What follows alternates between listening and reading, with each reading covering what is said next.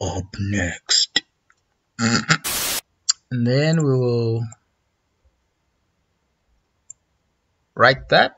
That's what our favicon will be for code with Zuks. That the Z in code encodes Zuks or Z if you're an American. So uh, moreover, I want my background to be black. So I'm going to come over here and change the background to black. And then there it is.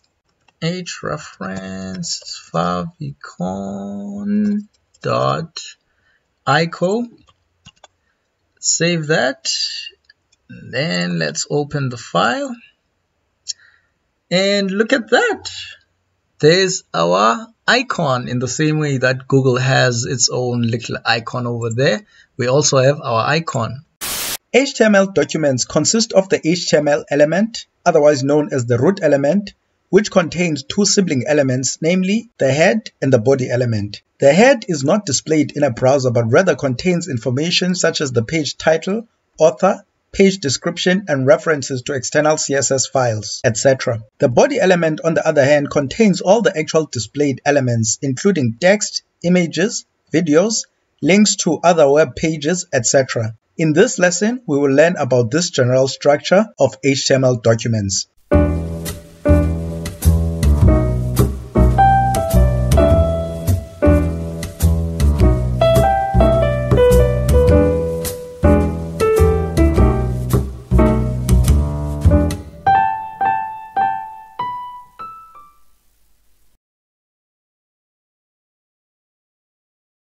Let's recap. An element consists of an opening tag and a closing tag with content contained between the two tags. Elements can have attributes which can be used to label the element or even change how the element looks and behaves when viewed on a browser. In this lesson, we will look at the general structure of an HTML document. Before we start, we need to take note of two important concepts about elements in an HTML document.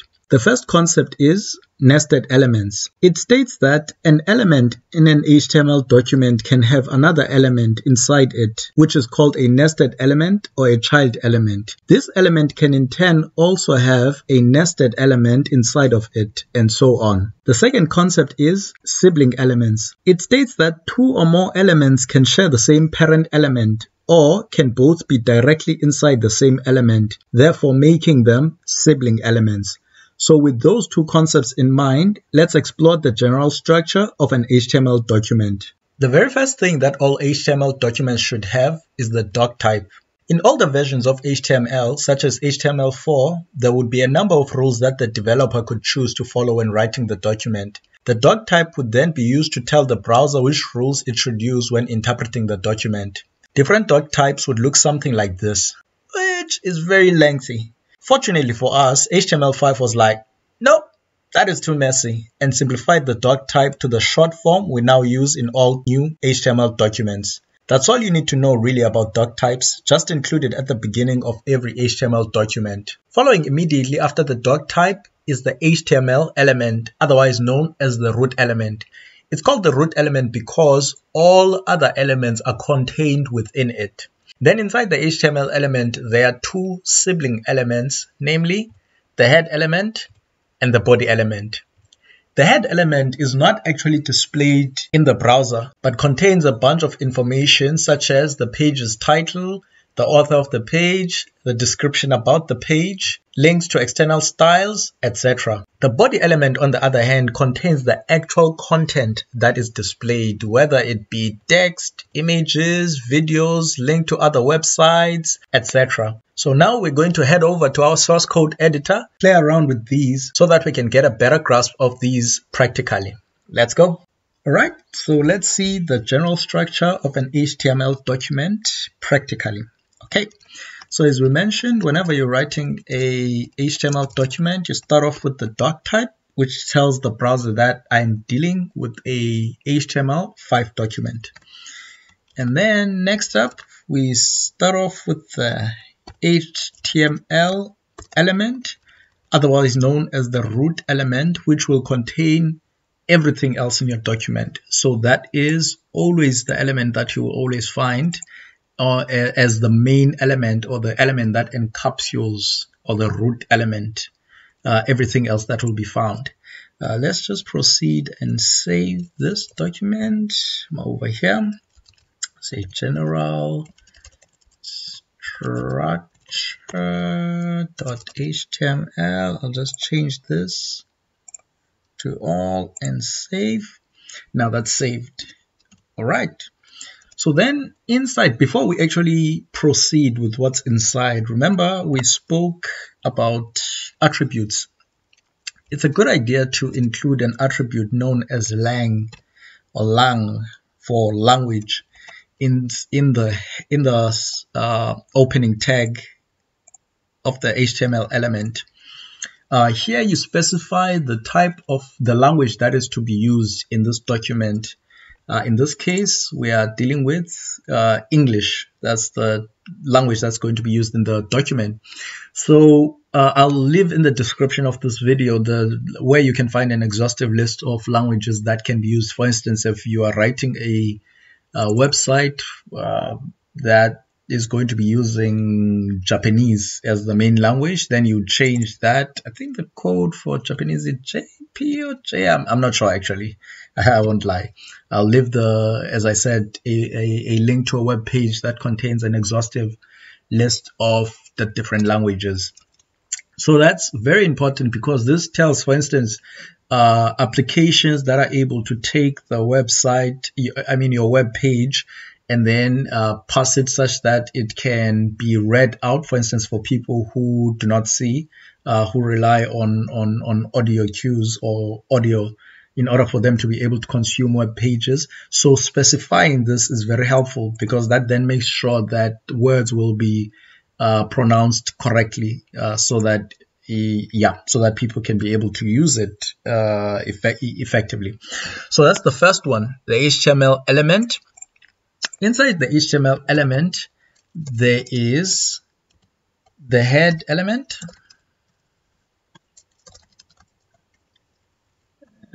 open here and by the way you will notice that whenever I create a new element for the most part more especially in elements that are going to contain other elements in them I always open it uh, leave a space between and then I go tab the reason for this is to make uh, your HTML code more readable.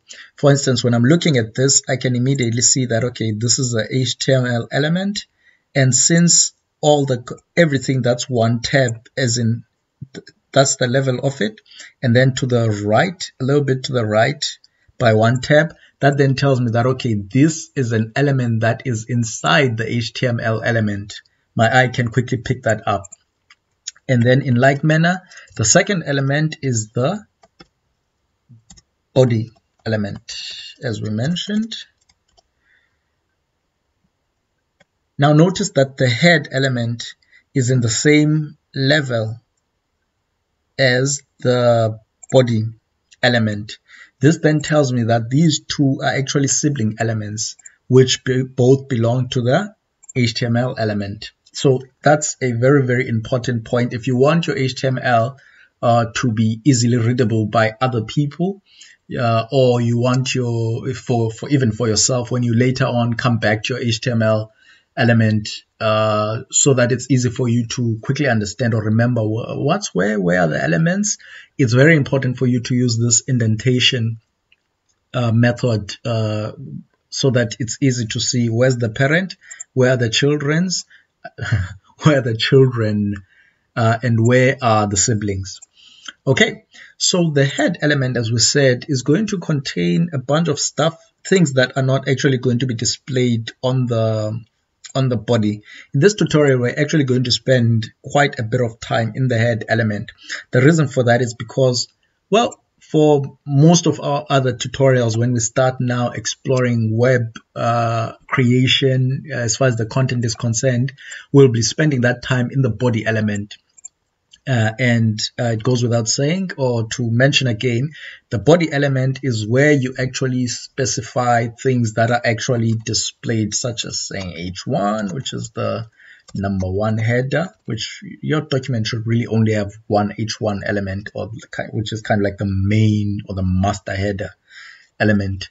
Uh, so we'd say something like general structure of HTML documents. Yeah, and everything else that's going to be visible. So for instance, this H1 element will be visible. Now the header contains a bunch of things such as the title. You put the title of the document here, which will not be shown in the main area of the of the browser when it's showing. The title you can kind of like have the same thing as the um, H1 element. Not to confuse the two this one is actually visible because it's in the body. The title is not visible.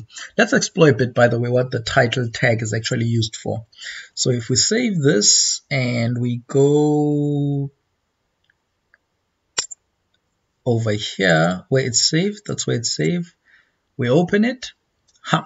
so notice now you see that's the h1 element see on the browser when you look on the tab you notice what's written there? That's what's actually contained on the title element. So another use of the title element is that when you come over here and you want to bookmark a page, you notice the name. The name that is used is actually taken from that title tag, similar to what's written here. So it's very important for you to always include a title tag. If you don't include a title tag, then something like this will happen uh, it will actually display let's see. See it's now displaying the file name and sometimes uh, generally you, you don't really want that. So it's always a good idea for you to actually specify the title tag uh, over there. Okay so that's the first one. Now next up there are tags which are known as meta tags meta tags are do not have a closing tag. They are empty elements or empty tags or rather meta elements are empty elements uh, which means they do not have a closing tag. So meta tags contain information about the page. This information can be used by the browser or even by other web platforms such as social media networks or search engines. For instance, one meta tag can be used to specify, let's see, if we add this attribute to this particular meta tag, say char set or character set, UTF minus 8. So this meta tag is going to tell the browser that the characters that can be used in this particular document are of this type, UTF minus 8, which basically says that it's all the characters uh, in all languages. So if you know that a particular page, it's a good idea to just include this particular uh, character set uh, meta tag when you want to allow your document or your web page to be able to support all characters uh, in all you know known languages. So we'll get back to meta tags in a little bit because we're going to do something a little bit fun that will help you to actually see why it's very important for you to specify uh, proper meta tags. So even though it's not the it's not actual content that's going to be displayed on the browser when the user is, is, is using it, but it has very important uses. We'll get to that in a bit. Other things that you can include in your header are links to style sheets. That is to say, for instance, when you, once you start using, okay, let's just close this off. Once you start using CSS to style your page, you would include style sheets, or this is one of the main places where you would include style sheets, or you would say that, okay, I have a file that contains styles. I'd like for you to include that file in this document.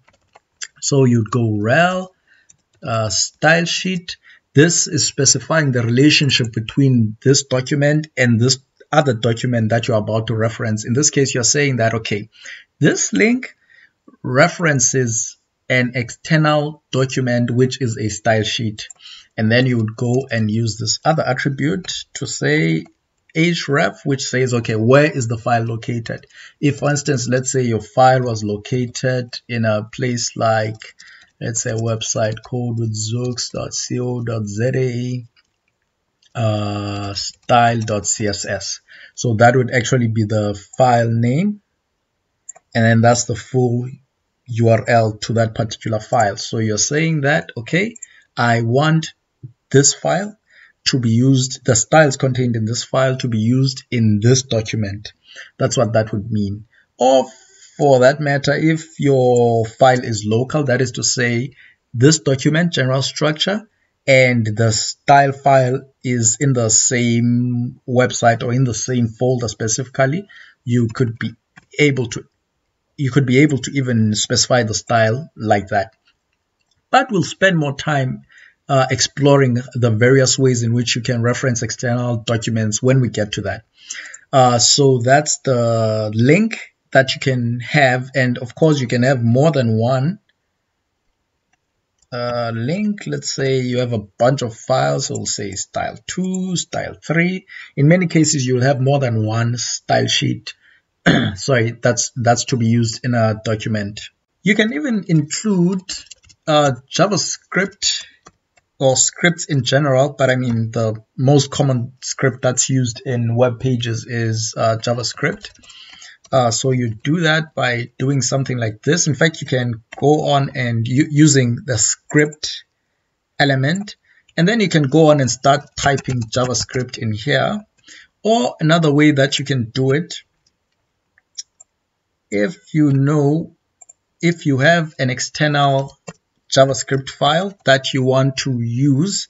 In here, you can do that and say JavaScript or script, whatever, .js. That's the extension for JavaScript files as that is the extension for CSS files. So if there is a script.js file that is in the same folder as this particular document, you'll be able to access it by uh, through this. So that will go and download that script when this file or when this document is downloaded and then the functionality that's in this script will then be used in this document. Coming back to links, so now we're going to have a little bit of fun. There's actually a link um, type that is called an icon. So an icon, you notice how in many websites, um, for instance, take Wikipedia. In many websites, there is this icon that is over here, right? This icon, similar to the way that the title of the page you specify in the header, the icon over here is also specified in the head, not in the header, in the head element. The icon is also specified in the head element. You notice over here, we actually do not have an icon element. So what we're going to do is we're going to quickly create one and then reference it. So for now, I'm going to, by the way, when you want to comment out, there's this concept that's called commenting out code. It's when you're saying that, okay, there's this information that I just want to leave over here uh, maybe as a comment. Or I just want to I want it to not be read by the browser. So in HTML and by the way commenting is a is a concept that you will find in almost every programming language. Uh, yeah. It's very good to comment your code so that you can be able to have information that will later on remind you why did I write this particular thing?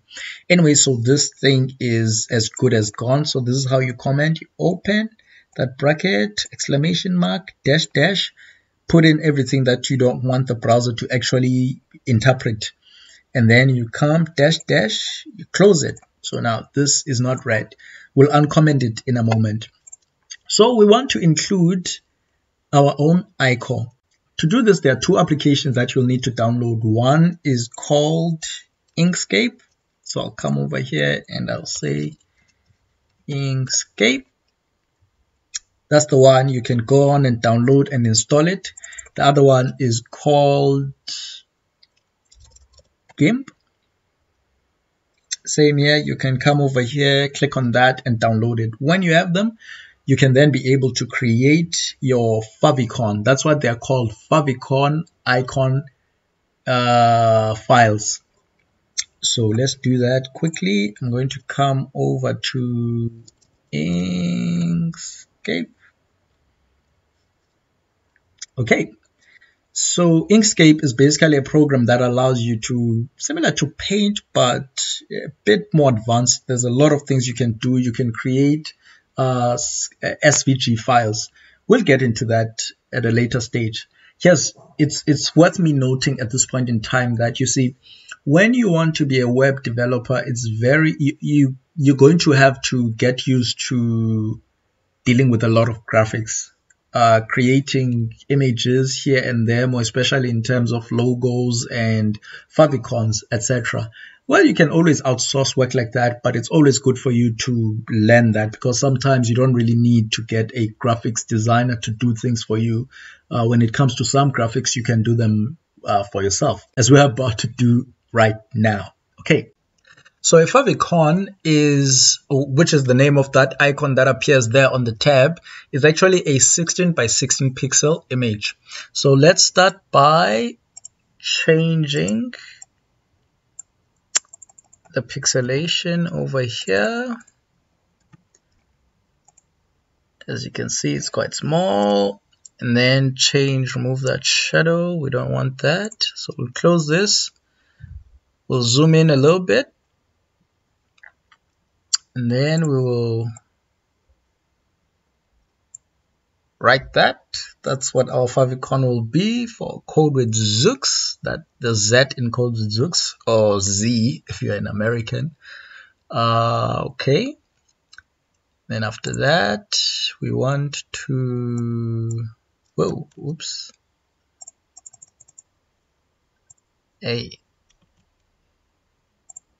we want to then can we name this in pixels lock that so that the aspect ratio will remain. We don't want it squashed. A. A. Can we move? Okay. I think this program acts weirdly when I'm recording and at the same time uh, trying to work with it. It's actually a bug that I just picked up just now. It's fine, we'll do this. We'll use align distribute. That will allow me to relative to page. Okay, look, I'll be just right back. This thing is acting up very, very weirdly. I'm just going to take this thing and place it over here. Be back in a moment.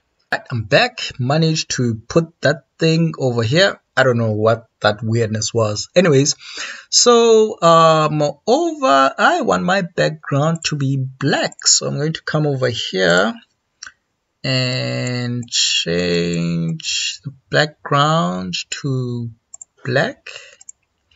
Then I'm going to say I want to export this. Oh wow, this thing is giving me a problem even with the exporting option. It's quite weird. Okay, let's do this. File, save as. I was wondering if there's a way for me to get this URL. Okay, look. Rather, what I'm going to do is I'm going to save this thing as a PNG file. Normally you would be able to click on export. Oh, there we go. Ugh. So I'm going to save it over here. This is the same place where you can't see it because this is only showing PNG files. This is the same place where our uh, HTML document currently is. So we're going to save it over there as we will call it favicon. Then we say export which is giving me okay let's see if it was saved okay there it is it's been saved it's a small file over there that's supposed to go smoother it's just that it seems like while I'm recording and using Inkscape there seems to be a clash between the application I'm using to record to, to record and, and Inkscape. Anyways, so now that we've saved the image over here, we're then going to open it using the other program called, where is my open with? GIMP. Once you've installed GIMP, it should appear uh, under open with whenever you try to open an image file. So let's quickly go over there. We are going to use GIMP to convert this PNG file into an .ico file because that's the type of file that we want to use. All right, so it has opened. There's our file. So now we're just going to say export as. We come over here and we look for, it's actually Microsoft Windows ICO. That's what it is. There we go. favicon.ico. It's going to be saved in the same place. We'll say export. We don't want it compressed. That's fine. And then there it is. There's our favicon. So now I can close that. And I can also close Inkscape. No, I don't want to save it. So we have our favicon. So now let's go back to our page. HTML document. We're going to uncomment this. And then we're going to say hrefs favicon dot ico save that then let's open the file and look at that there's our icon in the same way that Google has its own little icon over there. We also have our icon. In fact, even if I go to the original document, refresh, there it is. So we've seen now how you can actually use the head element to include a link not only to external uh, CSS files, but you can even specify in the same way that you can specify the title of the document, which appears over there in the tab. You can also uh, specify, I've shown you how we can create, quickly create a simple favicon. You can also specify that, okay, in this page, I want you to use this particular favicon, and then it appears over there. So back to meta tags a little bit. Just to help us understand just how important meta tags can be. For instance, there is a meta tag which is called, rather which has the attribute called description. In the description, you would specify the description for this particular page. For instance, in this case, we would say uh, this document is an example of the typical structure of an HTML document. So now when your page is processed by a search engine such as Google, you know, in a search engine, when you say, um, I don't know, let's say HTML, you notice that there's this text that would appear over here as we can see over here as well over here.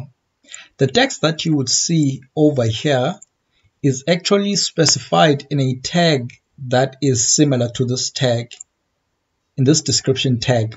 So you do not want a browser or, or, rather you don't want a search engine to have to go through your document and try to figure out okay what text is best for me to use as a snippet for this particular page. If you want to instruct search engines exactly what text to use when they are showing your particular page on the search results, you would come and use a tag like the description tag.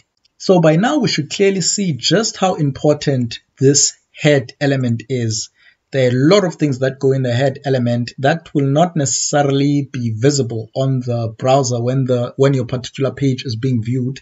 But even though that's the case they are very important for your document. They contain the title that will appear on the tab. They specify the favicon icon that will appear also on your tag. They specify things like the external css styling files which We'll see just how important those are in future lessons, uh, your JavaScript, etc. So it's very important for you to never ignore properly formatting your head tag. Now soon we're going to start on Tuesday specifically having what we're going to call micro hacks. In micro hacks, we're going to quickly use the skills that we have learned to create something that is, shall we say, a demo of how our skills can be used in a world or in, in a practical example. So in our first micro hack, which is going to be a few lessons from now, we're actually going to explore, amongst other things, using the head and see how, for instance, by properly putting in meta tags that are relevant, it'll influence how, for instance, Facebook and Twitter displays your content whenever a person references your web page. So just to quickly recap, the general structure of an HTML document includes the doc type, which specifies the type of document that this is. In this case, HTML, HTML5, which is the latest version of HTML. It includes the head, uh, it includes, sorry, the HTML element, which, encom which encapsulates or contains all the other elements. It includes the head and the body elements in the head element, we include all bunch of information on the page itself. And then in the body element, that's where we actually put content that's going to be displayed by the browser when a user is visiting your web page. And that brings us to the end of our lesson. Next up, we'll learn about the DOM and how to use a browser to debug or to analyze your web page as you develop it. Later. You can watch other tutorials over here and most importantly, don't forget to subscribe and turn on notifications so that you don't miss out on tutorials as they come out. Have you subscribed? Are you done? Eh, okay, cool.